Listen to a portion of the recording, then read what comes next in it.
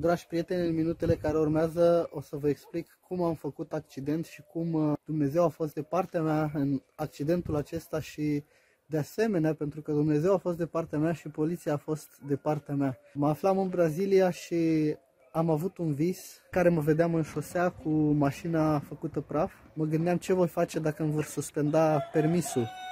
Voi rămâne fără permis, cum voi mai putea să circul dintr-o parte într-alta. Doi, mă, mă gândeam apoi ce o să zică mama, o să se îngrijoreze. Și trei, mă gândeam ce voi face dacă îmi vor da o amendă mare sau voi fi nevoit să fac uh, mașina celui cu care m-am accidentat. Și în vis eram uh, sănătos, nu aveam nicio zgârietură. În zilele care au urmat m-am întors în România și în 10 zile de la visul acesta m-am găsit mergând de la mine de la țară către Craiova iar în localitatea Malu Mare am intrat într-o depășire. În timp ce mă aflam în depășire, o altă mașină a intrat în fața mea, nu mi-a acordat prioritate, mi-a intrat brusc în fața mea și am fost nevoit să intru în acea mașină.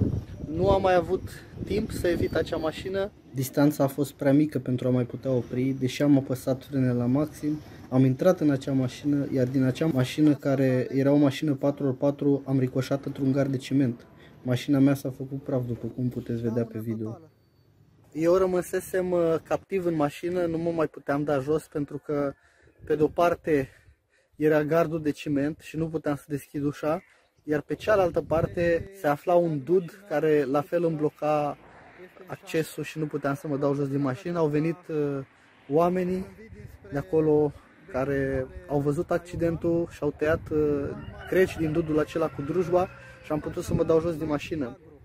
Apoi, după ce m-am dat jos, prietenii omului în care intrasem, cu care făcusem accident, toți au spus că, uite, noi ne punem martori că tu ești de vină. Spuneau că eu sunt de vină și că ei toți o să pună martori că eu sunt de vină. Ce mai aveam să zic și ce mai puteam să fac în fața unei asemenea perspective, din moment ce erau vreo cinci iși care ziceau, noi ne punem martori, semnăm că tu ești de vină. Au vrut să mă păcălească, mi-au zis că, uite, deși tu ești vinovat, noi îți oferim șansa să faci o amiabilă cu noi. A venit într-un final poliția, ne-am dus la sediul poliției și ne-a pus să dăm declarații să spunem cum s-a întâmplat. Acolo bărbatul respectiv în care intrasem, a vorbit doar el, eu am tăcut din gură, spunea că eu sunt vinovat, că am intrat în el și în timpul acesta a venit și fiul lui și a spus că lucrează la jandarmerie, cum ar veni că este coleg cu poliția și a întrebat ce s-a întâmplat cu Taso.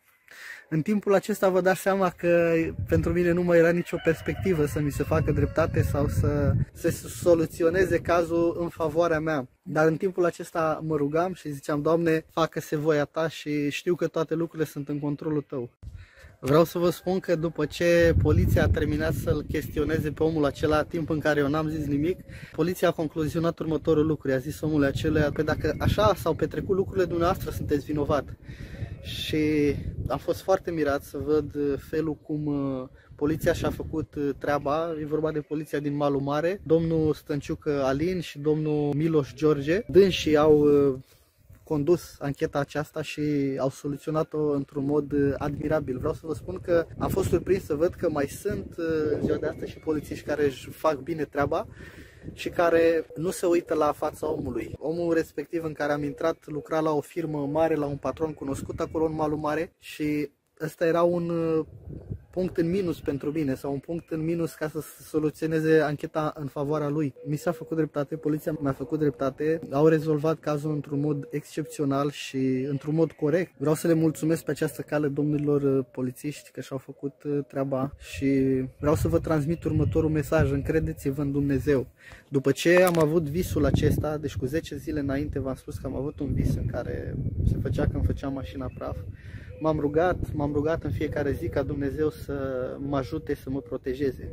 Și într-adevăr vreau să spun că dacă nu m-aș fi rugat, cred că lucrurile ar fi fost mult mai rele pentru mine. Dumnezeu a îngăduit ca în continuare să se petreacă accidentul acesta însă s-a petrecut într-un mod în care a fost uh, favorabil mie. Nu am uh, avut uh, nicio rană în accidentul acesta, accidentul a fost în favoarea mea, nu mi-a suspendat permisul, nu am avut nicio repercusiune legală, omul s-a în care am intrat pentru că mi-a ieșit în față și aveam prioritate. I-a suspendat permisul pe 3 luni și i-a dat vreo 13 milioane amendă. Și apoi vreau să vă spun că mi s-a dat o mașină de la asigurări care am circulat timp de 10 zile. Vreau să vă arăt acum pe video mașina aceasta cu care am putut merge aproximativ o săptămână.